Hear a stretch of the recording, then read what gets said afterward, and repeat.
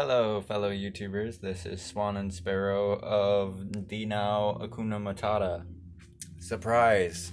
We got a new boat. It was gifted to us from a local sailor. He had uh, just wanted to see it taken care of, and he didn't have the time um, to do it. And he wanted to see it done.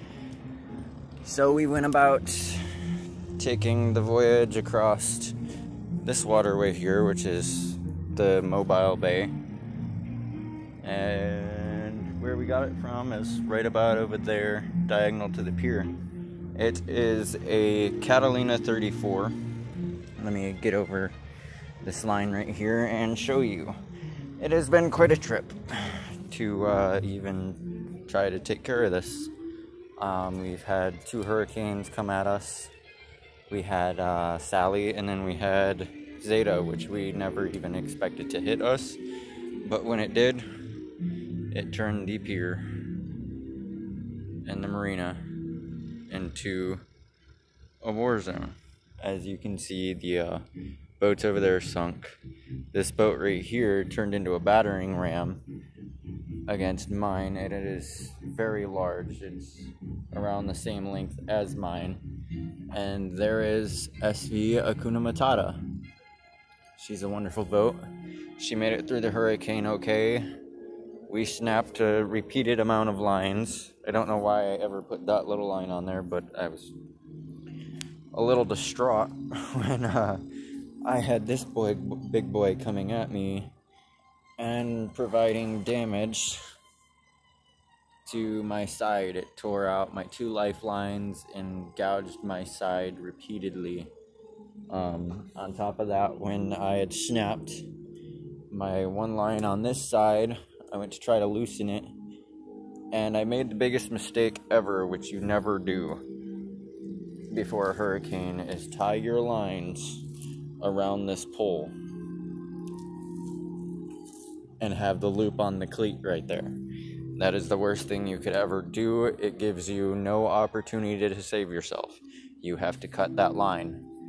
Um, and the cost of cutting that line was the uh, beating that the bottom of the hull took from that pylon. Luckily, it was nothing but a, a proficient bottom job um, because the, the poles themselves are so rotten that it mm-hmm. didn't do anything to them. But on the other hand, some boats are not that lucky. If I would not have been on my boat, mine probably would have done the same thing as this one did. Now, you can see that pylon right there, how it's nice and shiny at the top. Brand new sanded. That was brought to you by this boat in its position coming over to mine and slamming down onto the pylon. The water was up above that pylon right there. It had pulled it up out of that, or the boat up over that pylon and slammed the rear end down onto the pylon. So it essentially had picked it up just right and slammed it down. Now, when that happened, it was it was a prayer answered because I honestly bowed my head at that moment and said, Lord, just make this boat stop hitting me. And miraculously, it happened. It was a miracle that it happened because it had already snapped that little pylon right there. And where the boat originally was sitting, as we can see, it, it was looped around this pylon right here. Was nicely looped around that pylon right there. Um, wow, there's a spotlight in the water. Um, upon all this happening, I ended up salvaging a solar panel from the boat that tried to destroy mine. It just so happened to break loose on one of my lines, and I go to pull it up, and I was like, oh, there's a solar panel. Um, so now I do have a charging source, 24 volts. I'm going to convert it down to 12 volt. I'm going to show a video on how to do that. I've been researching it a little bit more. um, on how to do that. Oh, there's the red line I was looking for. I have been looking for a red line for the last two days. Um, when I was trying to pull that solar panel up out of the water, it was not light because it had this bracket, as you can see, that bent. That was not bent like that. My boat did that.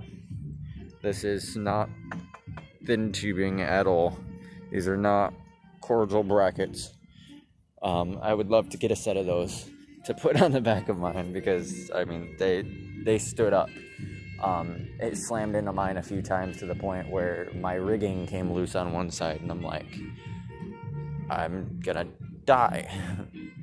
Apparently, uh, somebody had called a rescue on somebody out here. They had seven police out by the end of the pier right there, lined across the wall, shining all of us. The portmaster is still trying to figure out who did it. Um, who called 911 because we're all honestly i'm kind of worried that if somebody was here if they're not sitting in the bottom of one of those two or three boats. This one was dead empty and that one down there was dead empty.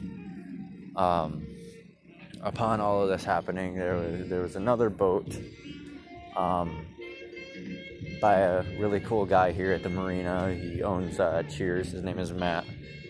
He had uh, the last Hurricane Sally, he had a Catalina 30 that had snapped off his furler. Took his furler completely off the uh, front buckle. I'll show you on mine. Um, it had taken the bottom buckle right there and snapped it completely loose, and his furler was sitting up on the top of the pier. The pier they had just repaired um, when Sally hit, and they just had to repair it again. And I will give you a little spiel of what the marina looks like now. Um, other than this wall coming down, I kind of thought there was no escape if my boat did sink. I was just going to climb up the mast and sit there until the waves did come down and then run for my life to the end of the pier to land. um, my phone was dead. It was one of the worst probabilities of anything thinking about happening when it did. Nobody was prepared for it at all. We just knew it was going to come, and it had said 75 mile an hour winds. And there was a lot more than that. um, it veered a little to the right. I had somebody actually tell me that hurricanes, every time they go near land, um, they veer, they tend to veer a little to the right. Um, and the mass destruction of that was all of our electrical is now down. Um, my side was never working, anyways. After Sally, it just kind of worked on the second outlet, and that was it. And now the second outlet is gone. It it has disappeared. Um, in the middle of the storm, we also had one called the Gas Guzzler. It ended up in the yard of the Fairhope Yacht Club. Um, what else? But yeah, it was it was a pretty interesting experience to actually ride through a hurricane on a boat. I've never done it. My brother Xander had a Irwin 42 and that was the love of his life and I wish it was still around and he was still around because he'd be pretty proud that that's crazy enough to do it. Don't do it. I do not advise it. Do not try this at home. but uh, here's the rest of it. That that's my gateway right up there by the uh, building. The gateway is down. Um, it, it's a Tetris maze to get through. There's fishing line tangled up everywhere. Um, the old boat, the Ranger, ended up getting sold to a couple of local guys in Pensac- Pensacola, Florida. They ended up buying it for $200, and I told him, "Look, this this is a project boat. It is sternly a project boat. Um, I just wanted r- literally what I put into it out of it, which was quite a lot, but I broke even uneven with two hundred dollars, and it was it was a good prayer, you know. He was going through a divorce, and he needed a place to go, and he needed a project to take over his mind. So I said, "Well, here's this project to take over your mind." Um, he had came over, got it with 30 horsepower outboard because there was a bracket on the back of it. We had ended up uh, mounting on there, and he took off towards the shipping channel, and I guess the bulkhead buckled because he didn't listen when I told him that he needs to take it over to Mobile and get the mast pulled off. He was just trying to brave it, be stubborn, and it didn't work out very well. Um, that being said, it was anchored right around the same place. We actually went past it, bringing the new boat in. Um, and that went through. When that went through, or when Zeta went through, it. I just got word that it pulled the Ranger clear down here to what they call the causeway, which is a big bridge that goes across the bay, so nobody has to drive seven hours out of the way to get to Mobile, which is the city right over there by the uh, Pelican on the on the pylon. And right over there, there's Swan. She's enjoying the boat because it's it's still floating. I was I was quite surprised yesterday because there you see that little pole there. That was that was the solar panel rack. Now, when the solar panel rack slammed into mine, my boat won for now, and it it, it wanted karma.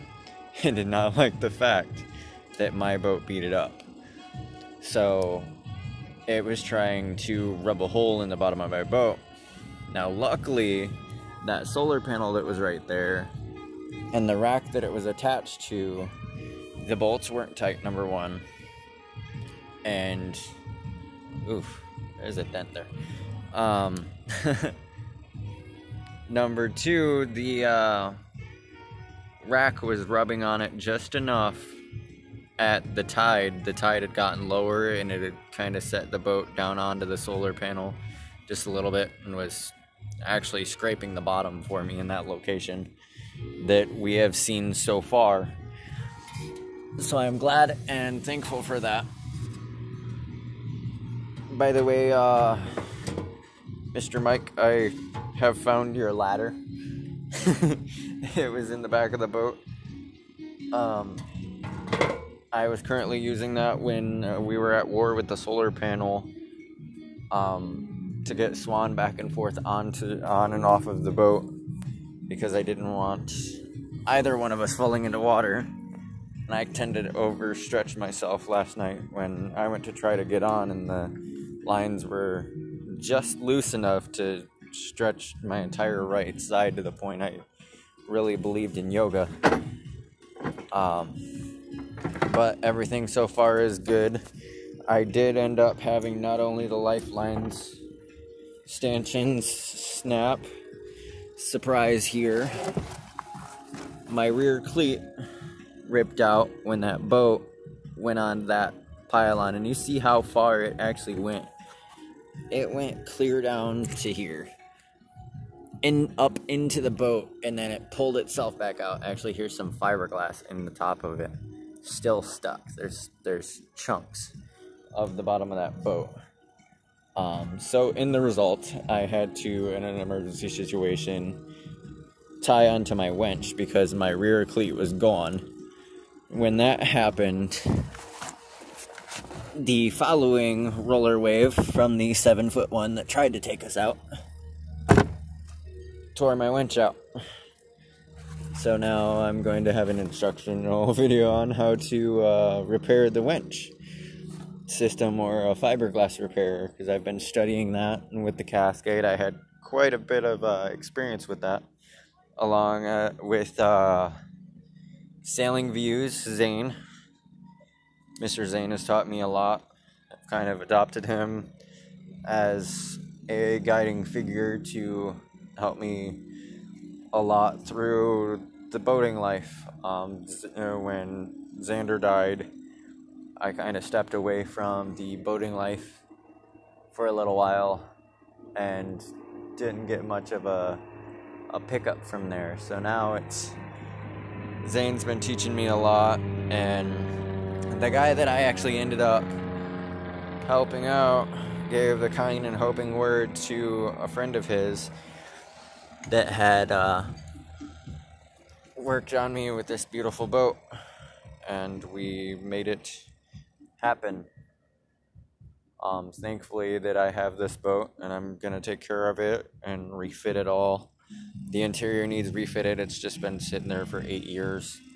Um, and there there was a spot in there that had termites. It was the kitchen counter, the countertop.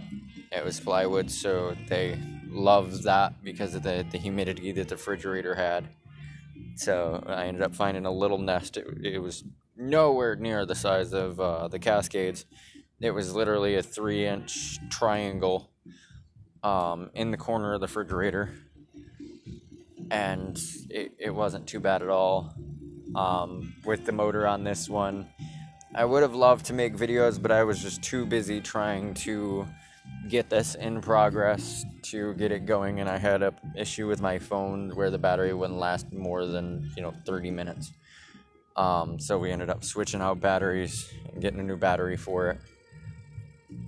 Um, but the engine, I ended up, uh, it was airlocked for a while because the fuel pump ended up uh, going out. Or yeah, the fuel pump ended up going out. Thankfully, Zane from Sailing Views actually donated a fuel pump to us to get it moved across the bay, and it, it was a fun trip. Um, the first stretch that I tried to take, I tried to take alone, um, and leaving the marina, I was only doing one point, I think 1.8 knots, which is very slow at full throttle on a 21 horsepower diesel. It is a universal diesel with a brand new prop eight years ago. And uh, so I sat there and I thought about it, and the bottom need cleaned. So I ended up getting towed from a local guy that uh, has came across our life. His name is uh, Frank.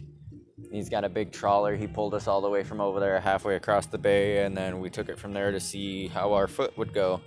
Swan ended up getting her first uh, jib raise, and it, we lowered the jib as soon as we got into irons, and we were coasting around four knots. So we figured, you know, a good uh, bottom cleaning. We'll haul it out one day and scrape the bottom, probably sand it down and repaint it. It'll be about, you know, three day job. Uh, probably around